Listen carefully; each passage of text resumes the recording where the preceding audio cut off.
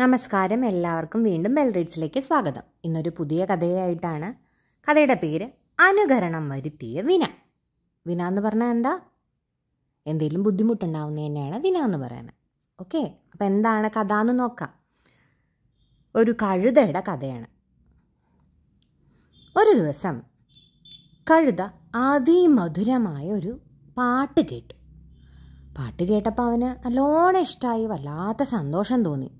എവിടെ നിന്നാണ് ഈ പാട്ട് കേൾക്കുന്നത് എന്ന് പറഞ്ഞ അവൻ ചുറ്റിനും ഓടി നടന്നു. എവിടെന്നാ എവിടെന്നാന്ന് നോക്കി. അപ്പം കണ്ടത് കുറേ പച്ചക്കുതിരകൾ പച്ചക്കുതിരകൾ പറഞ്ഞാൽ പുൽച്ചാടികളില്ലേ? പുൽച്ചാടി ഗ്രാസ് ഹോബേഴ്സ് അതൊന്നിച്ചിരുന്ന് പുല്ലൊക്കെ തിന്ന് ഇങ്ങനെ പുല്ലിൽ അങ്ങോട്ടും ഇങ്ങോട്ടും ചാടി രസിച്ച് പാട്ടും പാടി ഇരിക്കുകയാണ് ആ പാട്ടാണ് കേട്ടത്. കേൾക്കാൻ നല്ല രസമുണ്ടായിരുന്നു. കഴുത ഓടി അവരുടെ മുന്നിൽ ചെന്നു. നിങ്ങളാണോ ഈ പാട്ട് പാടുന്നത്? എന്ത് രസമാണ് നിങ്ങൾ പാട്ട് പാടുന്നത് കേൾക്കാൻ. ഞാനും ഒരു പാട്ടുകാരനാ. ഞാനും പാടട്ടെ നിങ്ങളൊപ്പം എന്ന് കഴുത അവരോട് ചോദിച്ചു. കഴുതയാണെങ്കിൽ തുള്ളിച്ചാടി വന്നാ ചോദിക്കണേ. അപ്പോൾ ഈ പുൽച്ചാടികൾ പറഞ്ഞു പിന്നെന്താ?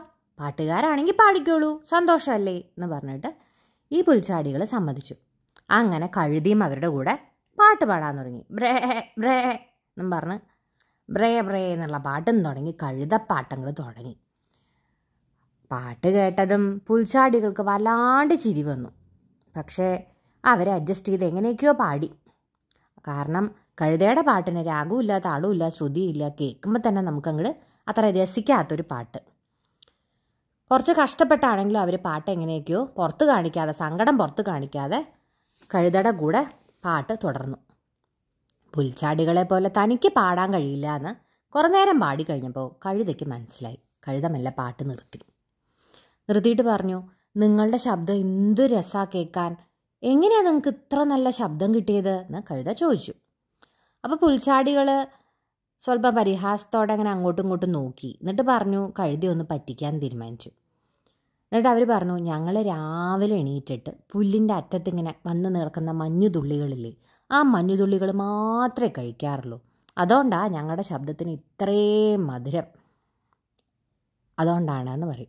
ഇത് കേട്ട കഴുത അപ്പാടെ വിശ്വസിക്കും അവർ പറഞ്ഞത്. ഓ അപ്പോൾ എന്നാൽ പിന്നെ ഞാനും ഇനി തൊട്ട് അത് മാത്രമേ കഴിക്കുന്നുള്ളൂ എന്ന് കഴുത ഞങ്ങൾ പ്രഖ്യാപിക്കും. വല്ല കാര്യമുണ്ടോ? അവന്മാർ പറ്റിക്കാൻ പറഞ്ഞതാന്ന് ആലോചിച്ചൂടെ. സ്വന്തം ബുദ്ധി വേണ്ടേ? ഇല്ല. അവരെ പോലെ ആവാൻ തീരുമാനിച്ചു കഴുത. പുൽച്ചാടികൾ തിരിച്ചുകൊണ്ട് അങ്ങോട്ടും ഇങ്ങോട്ടും ചാടിക്കളിച്ച് അവരവരുടെ പാട്ടിന് പറന്നങ്ങ് പോയി. പിറ്റേന്ന് രാവിലെ മുതൽ കഴുതയുടെ തലയിൽ ഈ പാട്ട് മാത്രമേ ഓർമ്മയുള്ളൂ. കഴുത രാവിലെ പുല്ലിന്റെ അറ്റത്ത് വീണ മഞ്ഞുതുള്ളി വെറുക്കി തിന്നാൻ വേണ്ടി കാത്തിരുന്നു. അത് മാത്രം ഭക്ഷണമാക്കി അത് മാത്രം കഴിച്ച് കഴിച്ച് കഴിച്ച് ജീവിക്കാൻ തുടങ്ങി. മഞ്ഞുതുള്ളി മാത്രം കഴിച്ചാൽ ആരോഗ്യം ഉണ്ടാവുമോ? ഇല്ല അല്ലേ? കഴുതയ്ക്ക് വേണ്ട ഭക്ഷണം കഴിച്ചാലല്ലേ കഴുത ആരോഗ്യത്തോടെ ഇരിക്കുള്ളൂ. മണ്ടം കഴുത. അത് ചെയ്തില്ല. കൂട്ടത്തിൽ എന്തായി ഈ മഞ്ഞുതുള്ളി കഴിക്കണത് നിർത്തിയിട്ട് ഒപ്പം കഴിക്കും. അത് കഴിഞ്ഞ് ഞങ്ങൾ പാട്ട് പാടാൻ തുടങ്ങും. അങ്ങനെ ഫുൾ ടൈം ഇരുന്ന് പാട്ട് പ്രാക്ടീസ്.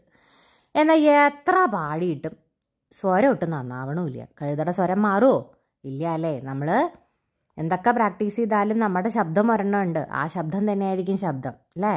പക്ഷെ കഴുത പരിശീലനം നിർത്താനുള്ള ഉദ്ദേശവും ഇല്ല മഞ്ഞുതുള്ളി വിട്ട് വേറെ വല്ലത് കഴിക്കാനുള്ള ഉദ്ദേശവും ഇല്ല പുൽച്ചാടികൾ പറഞ്ഞത് തീരുമാനിച്ച് അത് തന്നെ മുന്നോട്ട് പോകാൻ തീരുമാനിക്കും. കുറേ ദിവസം ചെല്ലും തോറും കഴുത ഭക്ഷണം ഇല്ലാണ്ട് ഭക്ഷണം ഇല്ലാണ്ട് ക്ഷീണിച്ച് എല്ലും തോലുമായി മാറി.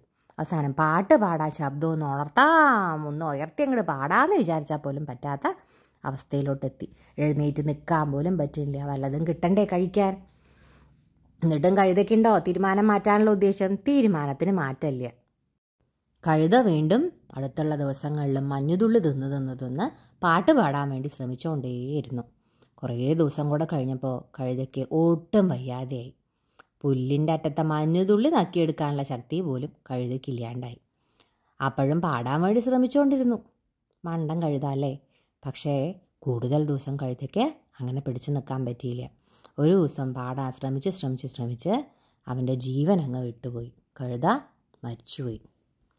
ഇതാണ് പറയണത്. നമുക്ക് ആവുന്ന കാര്യം നമ്മൾ ചെയ്യാൻ പറ്റുള്ളൂ. നമുക്ക് പറ്റണില്ല ഒരു കാര്യം ചെയ്തിട്ട് എന്ന് പറഞ്ഞാൽ ഒട്ടും പറ്റണില്ലെങ്കിൽ പിന്നെ അതങ്ങോട്ട് നിർത്തുക അതേ ഉള്ളൂ അതിനുള്ള മറു മറുപടിയായിട്ട് ചെയ്യാൻ പറ്റുന്ന ഒരേ ഒരു കാര്യം നമ്മളെ കൊണ്ട്.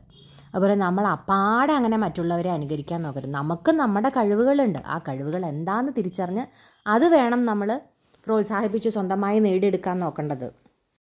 പകരം വല്ലവരും പറയണ കേട്ട് വിശ്വസിച്ച് അവർക്ക് ആ കഴിവുണ്ട് അവരങ്ങനെ ആയെന്നും പറഞ്ഞ് അതുപോലെ ആവാൻ അതിന് വേണ്ടി അനുകരിക്കാൻ നോക്കിയാൽ അനുകരണം വിനാന്നായി മാറും. നമ്മൾ ചെന്ന് ആപത്ത് ചെന്ന് ചാടും. അവസാനം കഴുതയുടെ അവസ്ഥയാവും നമ്മുടെ. ഇതാണ് ഇതിന്റെ ഉള്ളടക്കം ഗുണപാഠം. അപ്പോൾ ഈ കുഞ്ഞു കഥ മറ്റുള്ളവരെ ഇമിറ്റേറ്റ് ചെയ്യാനും അനുകരിക്കാനും വേണ്ടി ശ്രമിക്കുന്ന കൊച്ചു കുട്ടികൾക്ക് പറഞ്ഞു കൊടുക്കുക. കഴുതയുടെ അവസ്ഥ ആവാതിരിക്കാൻ നമ്മൾ എപ്പോഴും ശ്രമിക്കണേ എന്ന് പറഞ്ഞു കൊടുക്കണം കുട്ടികൾക്ക്.